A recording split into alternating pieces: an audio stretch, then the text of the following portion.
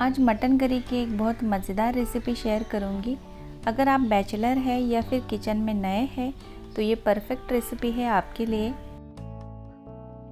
लेकिन अगर आप मटन की बहुत सारी डिशेज बना लेते हैं, तब भी एक बार इस करी को ज़रूर ट्राई करके देखिए। इस करी को खा के आपको ज़रूर मज़ा आएगा। सबसे पहले तो यहाँ पे एक ऐसा प्रेशर कुकर लेंगे। बहुत ज़्यादा बर्तनों को यूज़ नहीं करेंगे। इसी कुकर का यूज़ करके करी हम रेडी करेंगे।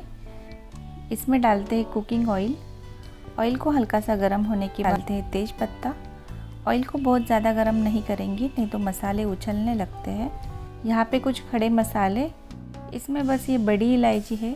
इसे हल्का सा खोल के हमने इसमें ऐड करना है.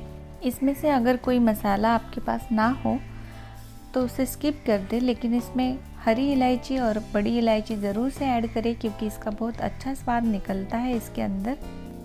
नेक्स्ट डालते हैं सूखे नारियल के चाप। नारियल को हल्का सा गोल्डन होने के बाद इसमें ऐड करते हैं प्याज। प्याज को आपने रफली काट लेना है तो यहाँ पे मैंने लंबाई में ऐसे प्याज को काट लिया। प्याज को भी हमने हल्का सा गोल्डन कलर आने तक अच्छे से फ्राई करनी है। प्याज तैयार है। धनिया के कुछ पत्ते। धनिया को हमने डंठल के साथ लिया हुआ है, जिसका बहुत अच्छा टेस्ट आएगा इस करी के अंदर। धनिया को हल्का सा चलाने के बाद यहाँ पे सारे मसाले अच्छे से भून चुके हैं तो इसी स्टेज में हम गैस को ऑफ़ करेंगे और इसमें डालते हैं अब कुछ सूखे मसाले। सबसे पहले वन पिंच हल्दी, अपने टेस्ट के अकॉर्डिंग रेड मिर्ची पाउडर यहाँ पे कलर के लिए आप कश्मीरी रेड मिर्ची पाउडर का यूज़ कर सकते हैं। नेक्स्ट डालते हैं अपने टेस्ट के अकॉर्डिंग नमक, कसूरी मेथी वन टेबल स्पून एक छोटा चम्मच जीरा पाउडर एक छोटा चम्मच धनिया पाउडर और आधा tablespoon ginger garlic paste और एक छोटा चम्मच गरम मसाला। इन सारे मसालों को हमने अच्छे से मिक्स करते हुए अच्छे से भून लेना है, क्योंकि कुकर और उसके अंदर के पहले के मसाले हमारे अच्छे से गर्म हैं। इसकी वजह से ये सूखे मसाले भी इसी के अंदर बहुत अच्छे से भुने जाते हैं।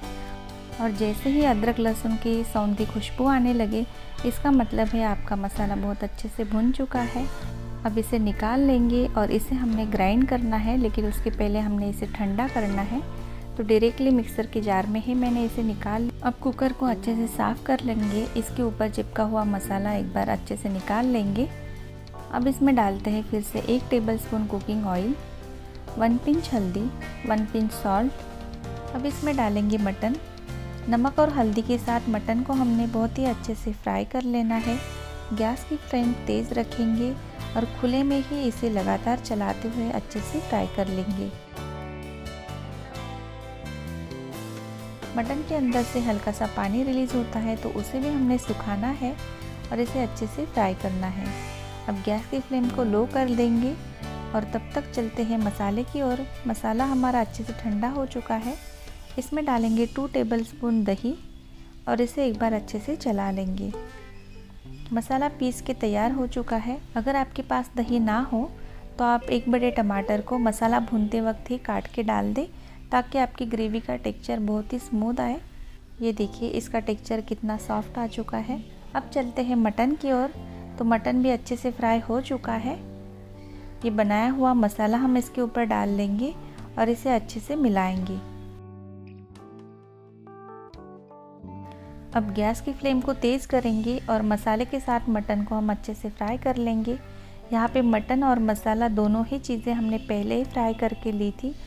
इसलिए इसमें बिल्कुल भी टाइम नहीं लगता। दो से तीन मिनट के अंदर, मसाले के अंदर से तेल रिलीज़ होना स्टार्ट हो जाता है। और जैसे ही आपको ऐसे पैन में तेल नज़र आने लगे, इसी स्टेज में हम इसमें ऐड करेंगे पानी। यहाँ पे मिक्सर के जार में मैंने आधा कप जितना पानी ले लिया है। चिपके हुए मसाले को भी पानी के साथ अच्छे से मिलाएँगे और ये आधा कप पानी को हमने इसमें डालना है। एक बार इसे चलाते हैं। अब यहाँ पे आप जितनी ग्रेवी पसंद करते हैं, उतना पानी यहाँ पे डाल लें। तो यहाँ पे और से डेढ़ कप पानी मैंने इसमें ऐड कर लिया। यहाँ पे 250 ग्राम मटन के लिए मैंने यहाँ पे दो कप पानी को ऐड कर लिया है। इसमें डालते हैं ये कतरी हुई हरी मिर्चें। ये बिल्कुल ऑप्शनल है बट एक बार आप ज़रूर इसे डाल के देखिए इसका बहुत अच्छा स्वाद निकलता है करी के अंदर। करी में जैसे ही बॉईल आना स्टार्ट हो जाए तो हम कुकर को बंद कर लेंगे। कुकर में एक सीटी लगने के बाद गैस की फ्लेम को लो कर देंगे और धीमे आँच में कुकर की हमने तीन से चार सीटियाँ लेनी है, या फिर धीमे आँच में कुकर को आप 10 से 15 मिनट के लिए पका लें। 10 से 15 मिनट पकाने के बाद कुकर ने अपना प्रेशर रिलीज़ कर लिया है। तो इसे खोलते हैं। और ये देखिए, बहुत ही बढ़िया मटन करी हमारी तैयार है। इसे चला के एक बार आपको दिखाती हूँ।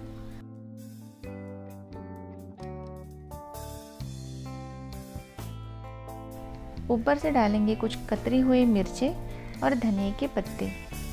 इसे एक बार अच्छे से मिलाएँगे और ये करी हमारी तैयार है। मटन की बहुत ही सौंधी खुशबू आने लगी है। मटन अच्छे से गल चुका है और ये बढ़िया लाजवाब करी हमारी तैयार है। तो ये वन पॉट रेसिपी आपको ज़रा भी हेल्पफुल लगी हो तो इसे लाइक ज़रूर करें। और ऐसी सारी मज़ेदार नॉनवेज रेसिपीज़ देखने के लिए मेरे चैनल को सब्सक्राइब करें।